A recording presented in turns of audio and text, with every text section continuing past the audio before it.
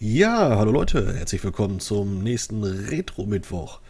Heute schauen wir uns, ja, für mich damals äh, der Urvater des Gran Turismo, kann man so, so, so sagen. Und zwar nichts anderes als Street Rod. Ich habe das Spiel auch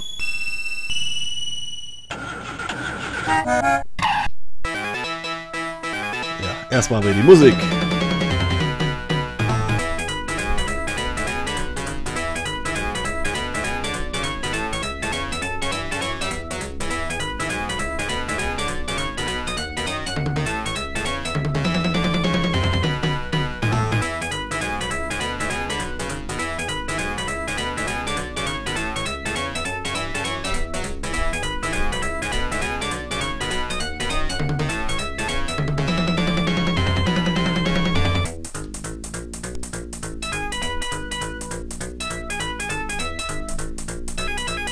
So, jetzt kommt die äh, Passwortabfrage.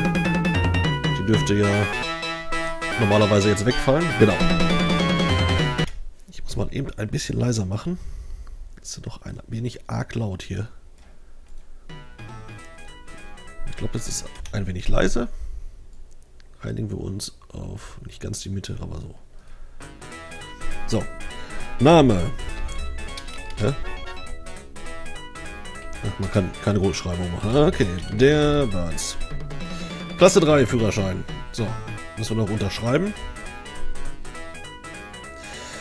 So, worum geht es in dem Spiel? Also, ich habe hier mal wieder, wie jedes Mal, ähm, mir eine Zeitschrift rausgesucht. Diesmal ähm, die ASM, also aktueller Softwaremarkt, wie wir sie noch kennen von früher.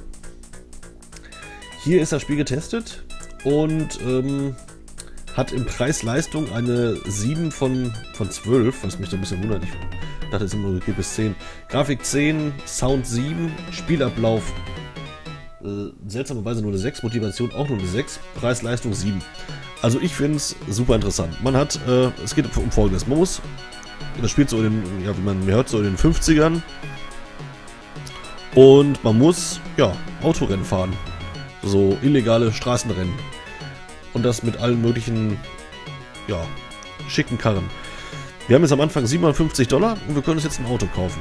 Erstmal nur gebrauchten natürlich.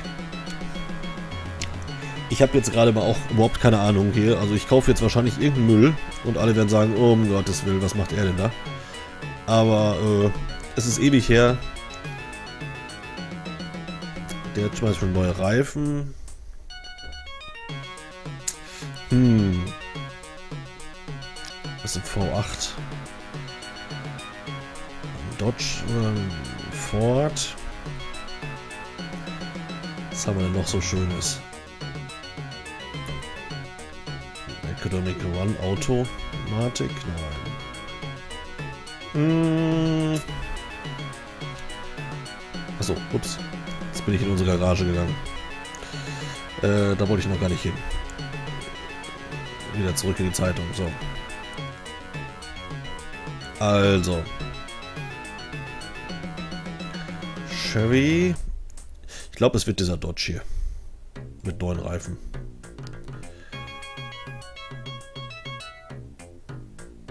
Zeig mal, wie sieht er denn aus?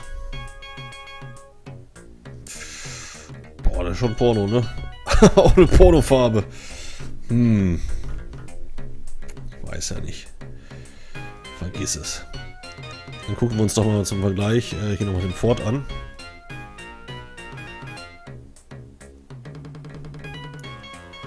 Tja. Auch nicht so ganz mein...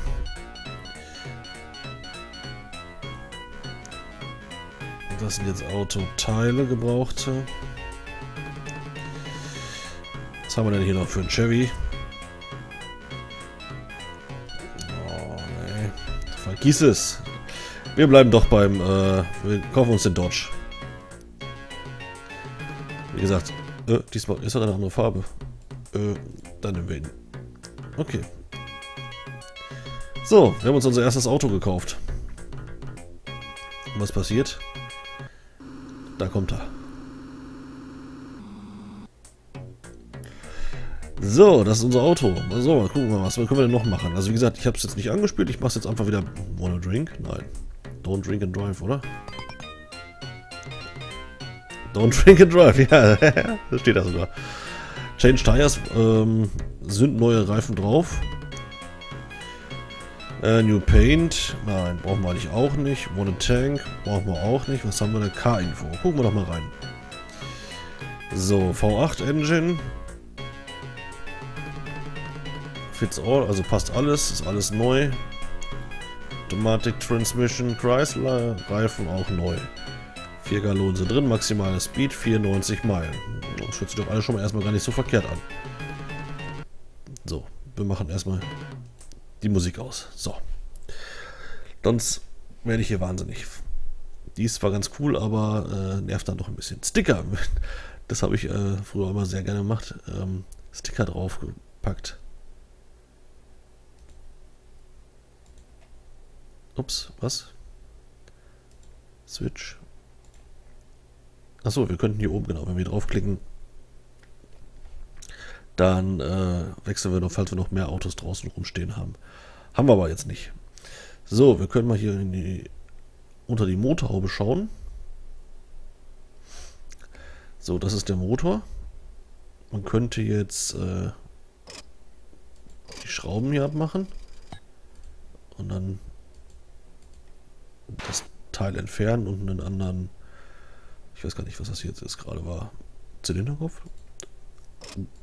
Keine Ahnung. Also man kann hier auf jeden Fall einiges äh, tunen, wenn man was hätte. Wir haben aber nichts. Also sagen wir mal kurz dann.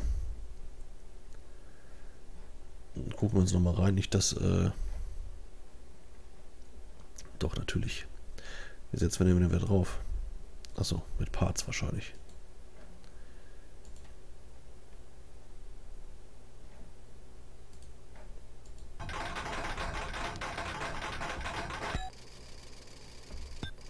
So.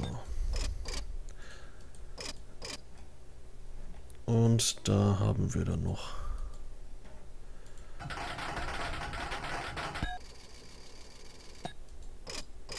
So, wir lassen das erstmal so. Wir gucken mal auf Tuning. Da kann man nämlich noch irgendwas mit den Drehzahlen einstellen.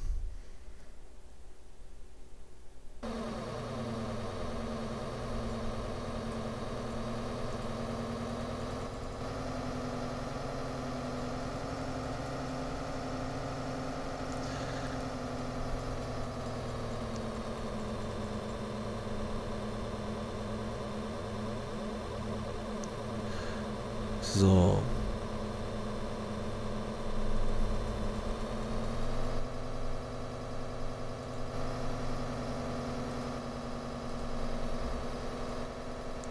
Ich finde, so hört er sich sehr gut an. Ich weiß nicht, ob das was bringt, aber ich finde, vom, vom, Sound her hört er sich auf jeden Fall gut an. Ich spiele es jetzt auch so, wie, ich wiederhole mich da jetzt, aber ich spiele es jetzt so, wie ich es früher auch gespielt habe. Und äh, zur damaligen Zeit äh, war ich dem, des Englischen äh, noch nicht mächtig. Man hat es einfach durch komplettes Ausprobieren gemacht. Cell Parts, nein. Äh, ja, eigentlich könnten wir mal tanken. Ich glaube, jetzt fangen wir aber zur Tankstelle, ne?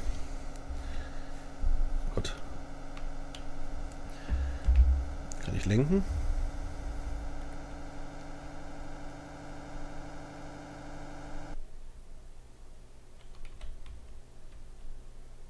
Ne, das äh, hat er automatisch gemacht, okay. So, da ist die Tankstelle.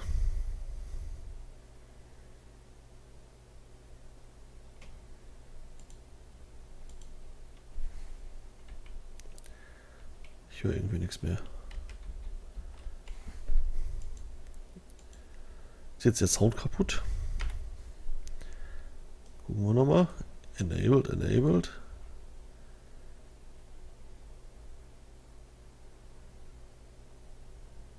Hm. Ich höre nichts mehr. Das ist natürlich jetzt... Ah, jetzt höre ich wieder. Ich weiß nicht, was ich gemacht habe, aber der Sound geht wieder.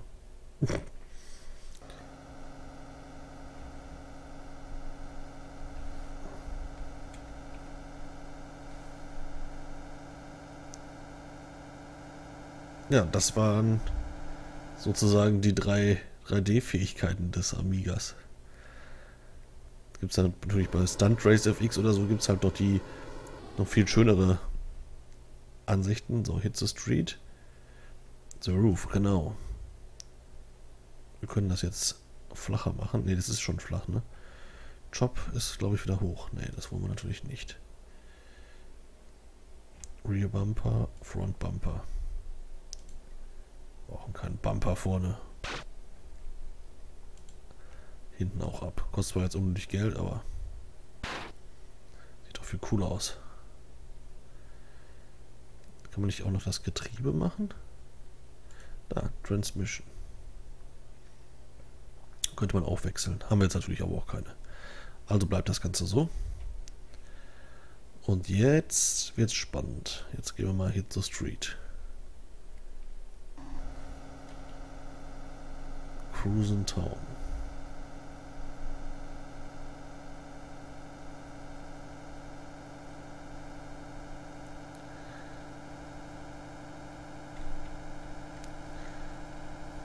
Wo fährt er jetzt hin? Jetzt fährt er, glaube ich, zu diesem zu diesem Treff. Genau, das ist jetzt dieses Diner. Und hier kommen jetzt immer welche vorbeigefahren, wenn man ein bisschen wartet. Sonst kann man hier auch nichts machen. Kommen einfach gleich Autos und die kann man zum Rennen herausfordern.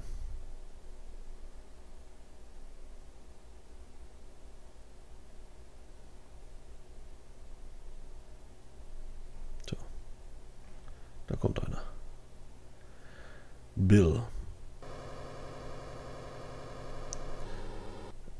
Äh, Bill sieht mir ein bisschen, äh, bisschen zu übermotorisiert aus. Bill darf wieder fahren. Ja, dann gucken wir mal. Ja, wie lässig er da steht. Pontiac Silver Streak. Wow. Ach, wir versuchen es einfach mal. Und zwar machen wir ein Drag-Rennen. Ja, um 10 Dollar. Cool.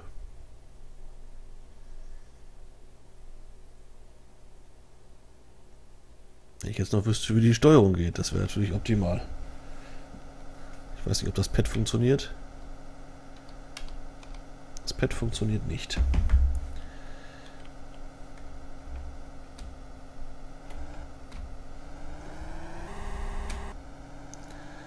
Ah, okay. So wäre es richtig gewesen. Okay, jetzt weiß ich auch, man lenkt einfach mit den Pfeiltasten.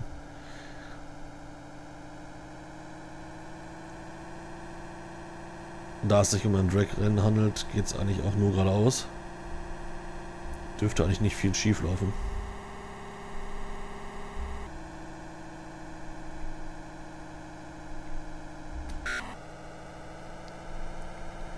Ist das eine Automatik? Ja, ne? Ja, wir fahren ja schon Vollspeed.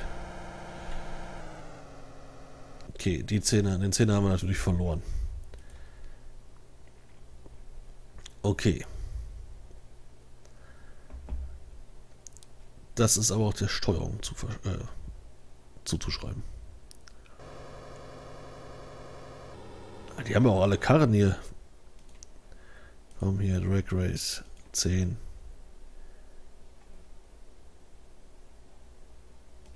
Will er nicht? Okay.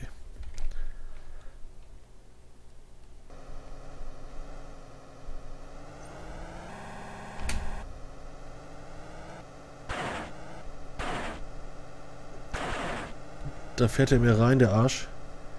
Hat er das mitgekriegt? Ja, ne?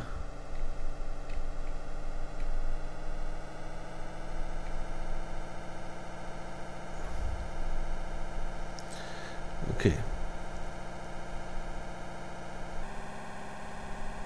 Am Ende kommen wir natürlich in der Endgeschwindigkeit, ja, obwohl ganz zieht er uns auch nicht davon. Aber die haben trotzdem keine Chance. Okay. Wir gucken uns noch einen an, aber ich glaube...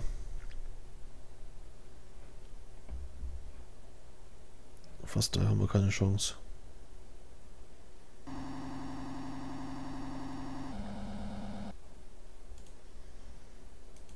Na komm, nochmal um 10er.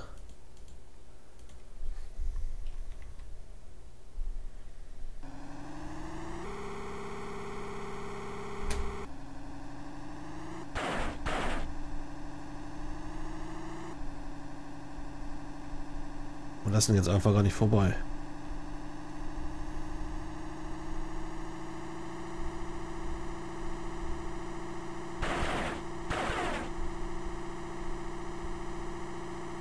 Jetzt ist er vorbei, verdammt.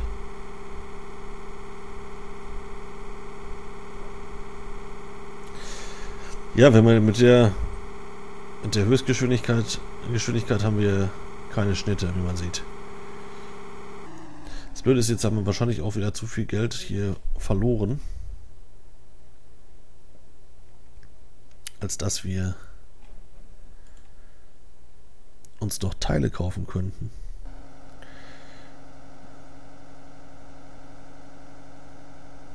Und das war früher auch schon immer sehr, eine große Schwierigkeit.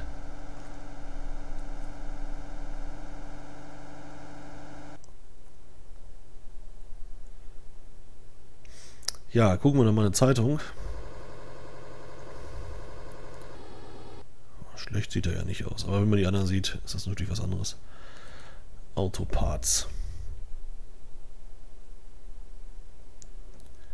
So, das muss natürlich irgendwie... Was heißt denn hier cu.in? Ja, für 50 Dollar können wir uns da nichts leisten eigentlich, ne?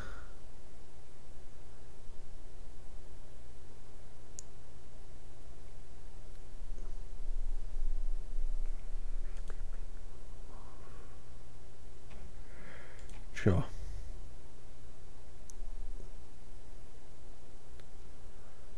Damit ist die Geschichte glaube ich, auch leider schon wieder gelaufen. Also, ähm, ich hoffe, ich habe euch auch Windsummer zumindest zumindest zeigen können, wie, worum sich das Spiel hier dreht.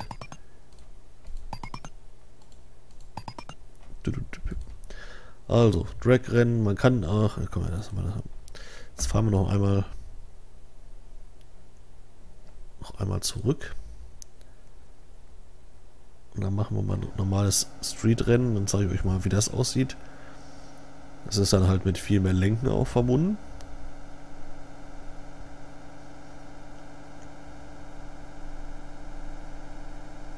Drag-Rennen, geradeaus.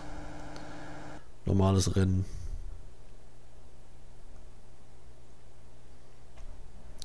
So, dann warten wir mal. Da kommt da einer.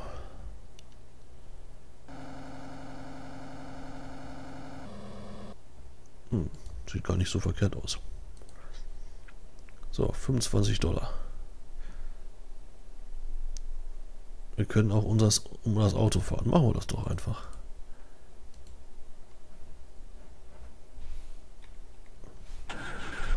Nee, er möchte nicht ums Auto fahren. Da hat er Schiss gehabt.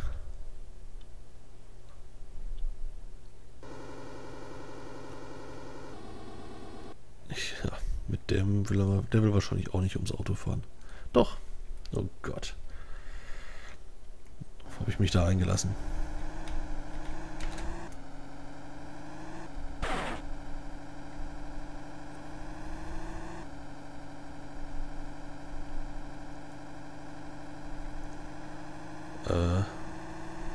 Wieso kommen wir so gut weg und sehen ihn nicht mehr im Spiegel?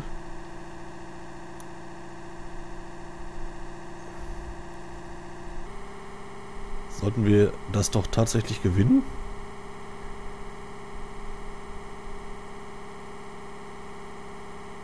Und noch waren keine Kurven da, aber... Da kommen die ersten Kurven. Das, die Kurven nehmen wir ja mal ganz locker. Glaube, wir gewinnen. Vielleicht.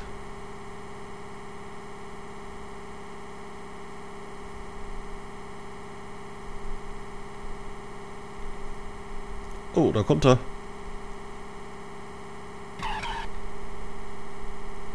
Wieso kommt der auf einmal?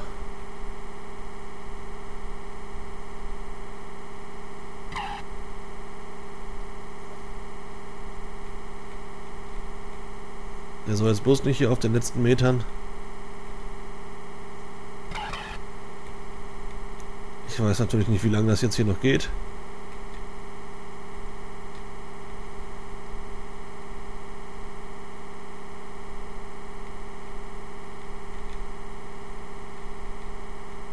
Aber der hängt uns ganz knallhart hinten dran.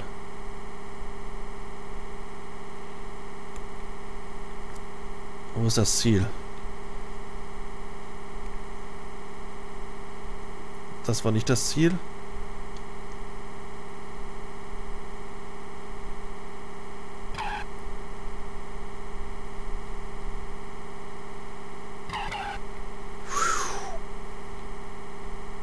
Nicht zu viel im Rückspiegel gucken.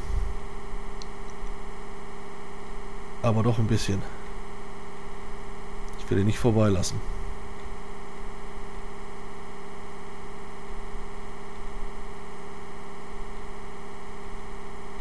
Ich weiß gar nicht, wie lange das jetzt hier geht. Oh Gott.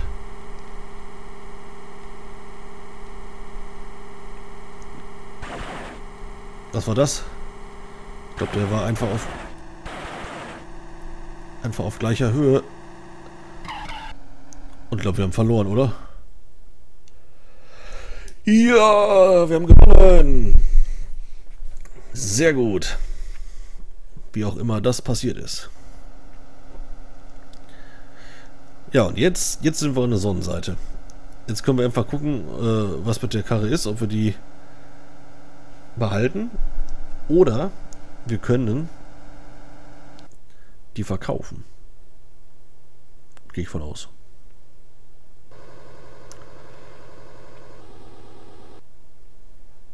So, hier können wir nämlich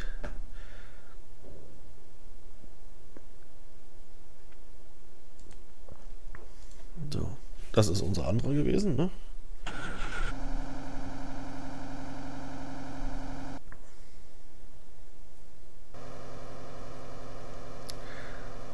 Der Karre haben wir tatsächlich gewonnen, das gibt es überhaupt nicht. So, K-Info.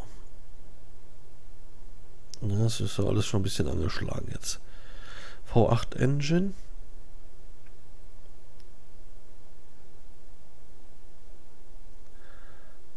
Chrysler. Chrysler. Hm, ich möchte jetzt, ich glaube, die Corvette verkaufen. Oh. Wie viel wollen wir dafür? Ähm, 1200.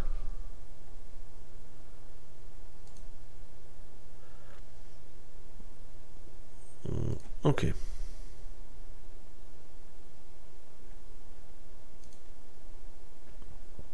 Haben wir sie verkauft. Und jetzt haben wir wieder richtig Kohle.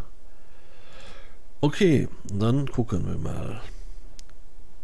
Also, das ist ein Chrysler 4, bla bla bla. Gucken wir mal, Autoparts. Ford Chrysler. Wie neu.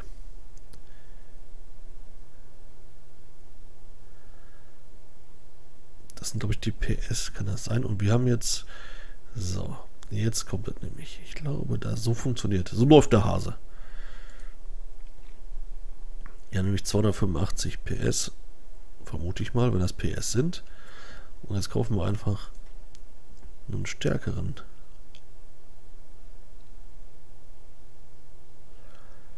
Chrysler da. Das ist schon, den haben wir schon in die Runde genommen. Hier ist dann einer mit 400 ein Rebuild.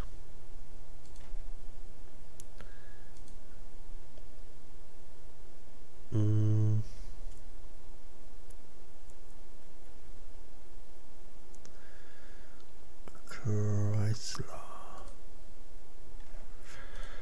Ja, dann nehmen wir den doch. Probieren wir doch einfach mal aus. War denn das Ding? Da.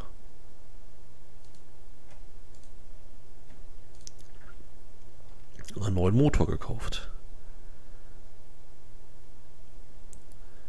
Dann setzen wir das nochmal ein, würde ich sagen.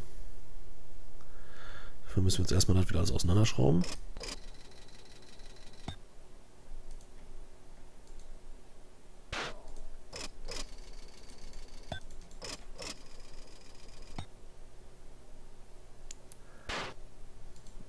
Der Motor ist nur mit einer Schraube festgemacht.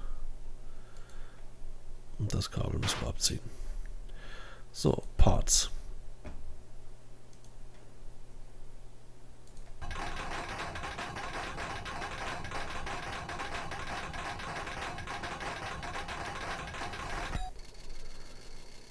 So, das ist unser neuer Motor. So, passt das Ding drauf?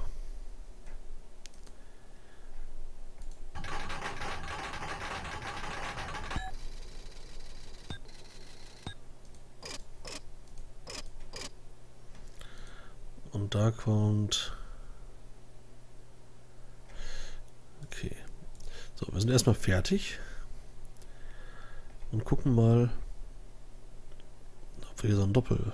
Das gibt's, da kann ich mich dran erinnern. Ja, ist, der Fall natürlich jetzt nicht die Namen nicht ein, das ist natürlich schön peinlich hier. Transmission? Nein.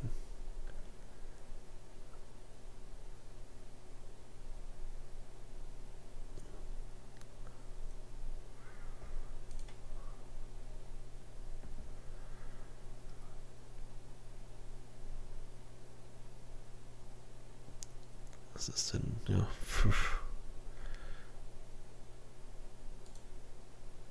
GM, nein.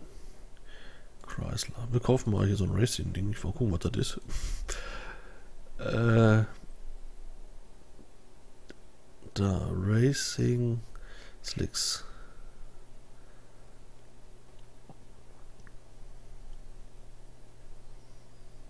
Dann kaufen wir auch mal. Jo. Ich habe keine Ahnung, ob das jetzt gut war, was wir hier machen. Ich habe aber irgendwas Racing-Technisches gekauft. Und noch irgendwas Racing-Technisches. so, passt das? Nein. Dann bauen wir das Ding mal wieder ab.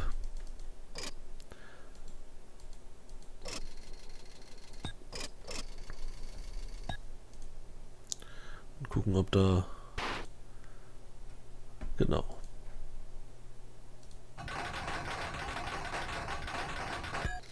So.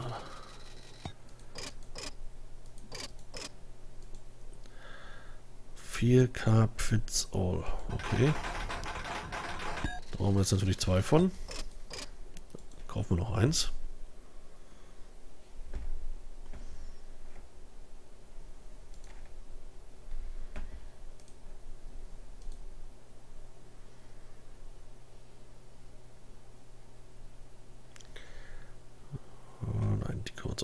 leisten.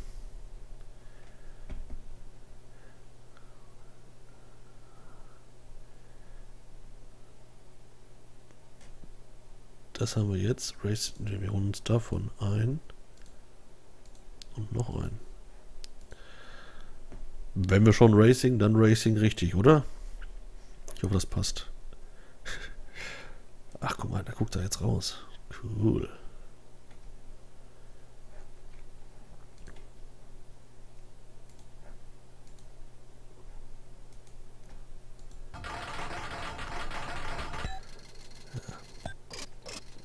Ab.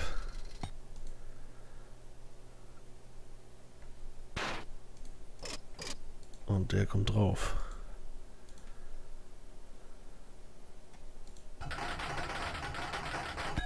Okay, ich glaube, das war ganz gut, was wir gemacht haben.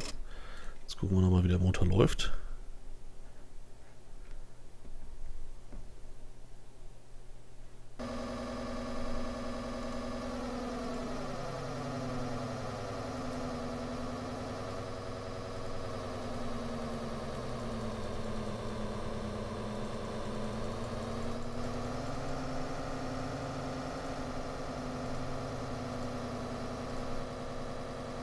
glaube, so ist gut, oder? Ich habe keine Ahnung. Für mich hört sich das gut an. So. Wie sieht er jetzt aus? Ja. Okay. Dann gucken wir mal,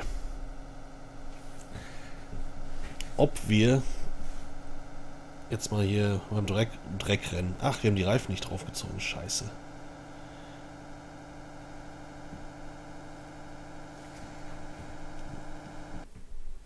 Die Racing Slicks.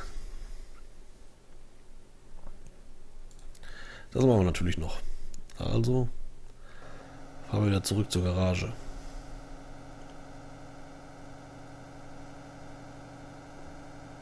Das, wie gesagt, fährt jetzt an der Stelle fährt er übrigens automatisch.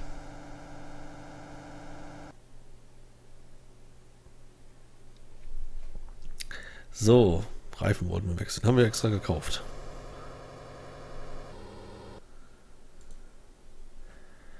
Racing Slicks New.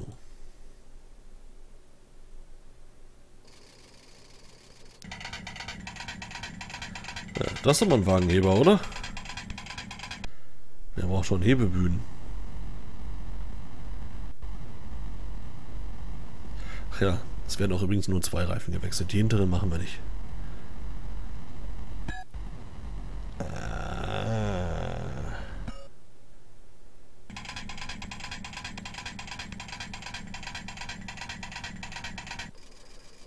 Das sieht doch cool aus, oder?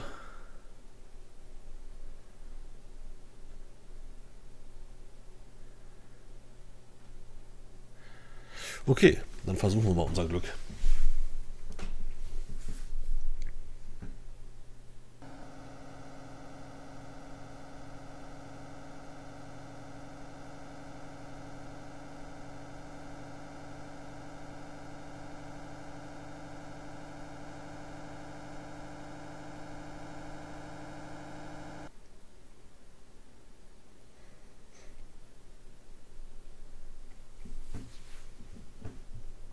So, was kommt denn da? Oh, ein 1938er. Sieht auch fies aus. Aber ich versuche mal. Für einen Zehner.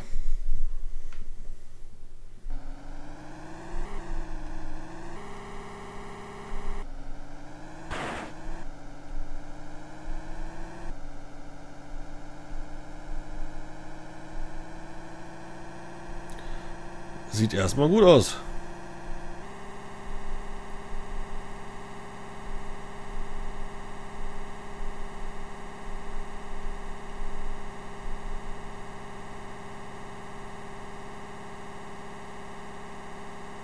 Ja. Das ist auf jeden Fall schon mal ein Unterschied. Der neue Motor, der bringt's. Okay. Wir können natürlich jetzt versuchen, wieder ein Rennen um unseren um den Wagen zu fahren. Aber wenn wir da verlieren, dann war es das. Mal gucken.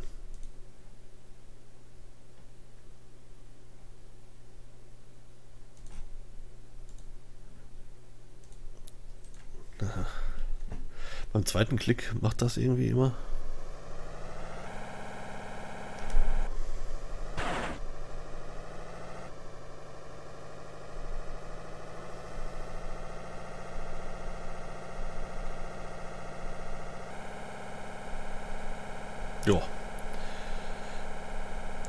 Sieht ja erstmal eindeutig aus, aber das war ja vorhin auch nicht anders. Und dann kam er ja am Ende doch noch.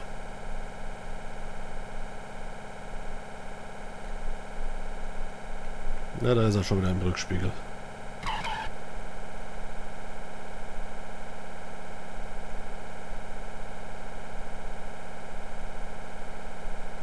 Und da ist er aber schon wieder weg.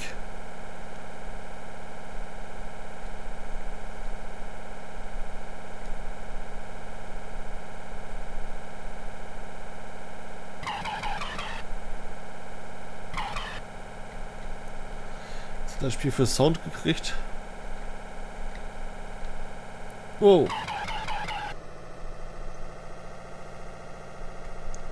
Sollte nicht auf den zweiten Bildschirm gucken, mitten in einem Rennen. Also für Sounds hat es eine 7 gekriegt. Ich finde den Sound hier eher extrem nervig.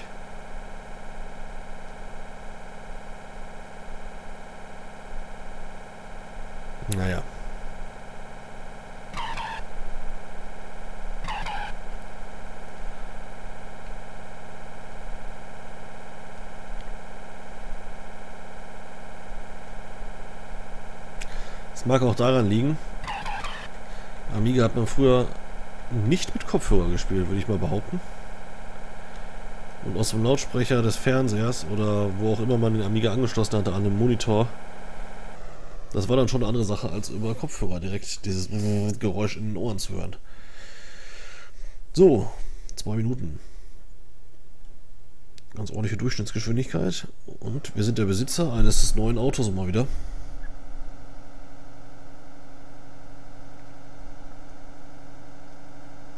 Nicht schlecht. Das können wir direkt verticken. Das ist natürlich, ich habe auch keine Ahnung, was man dafür nehmen kann.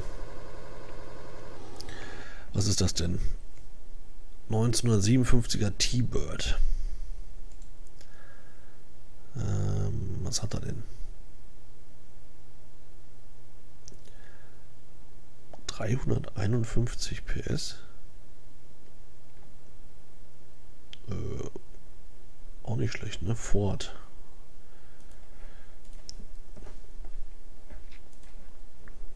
Ford.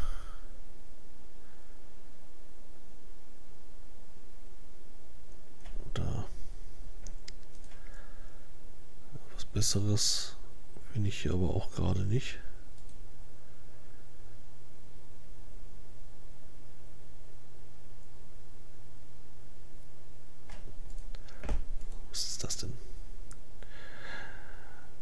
Aha, schick. Vergiss es. So, mal gucken. Haben wir hier ein T-Bird drin? Corvette, Corvette, Corvette. Mercury. T-Bird da unten. 3350. Okay. Versuchen wir einfach mal die Karre für 3000 zu verkaufen.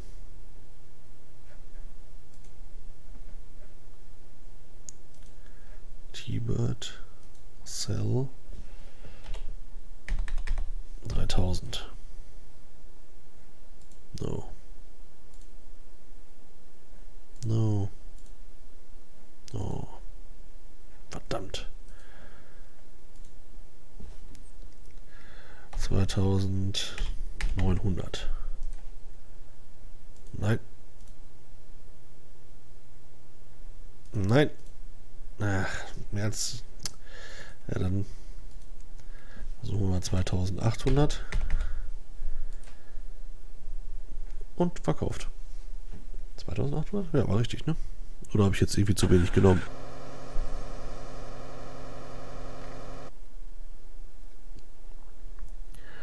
Okay. Ja. Jetzt ist natürlich die Frage, was kann man noch mehr machen? Gibt es noch irgendwas was Größeres, was Besonderes? Ganz ehrlich, ich weiß es nicht. Wir gucken mal in den Kalender. Da ist auch nur das ist ein Racing-Kalender halt, ne? Tja. Können nur tanken fahren. Und dann würde ich sagen, äh, haben wir auch genug reingeschnuppert. Und ja, es macht auf jeden Fall Laune. ich weiß nicht, es, es gibt bestimmt noch mehr Content oder ihr könnt euch ja mal andere Let's Plays angucken, die haben das bestimmt mehr drauf. Aber ich wollte einfach mal so meine Erfahrungen zeigen, die ich damals auch gemacht habe. Ich glaube aber so, so gut wie heute war ich damals auch nicht. Nicht immer. Also, ich mag mich jetzt täuschen, aber ich glaube, das ist halt auch nicht ganz gut geklappt. Tanken. Und da ist der Ton wieder weg. Gut, ja, alles klar. Mit dem Tankbildschirm verabschiede ich mich dann und sage vielen Dank fürs Zuschauen und ja, bis zum nächsten Mal. Tschüss.